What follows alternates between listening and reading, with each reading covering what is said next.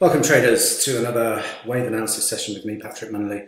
I uh, want to review where we're up to with dollar index. Obviously, we've been in this uh, major impulsive move to the downside, subdivided nicely. We've got a, an interim uh, wave three uh, low here in place. We corrected uh, at the beginning of the year into a wave four high, and we're now extending to the downside in what should be uh, the major fifth wave low for the first leg of this decline.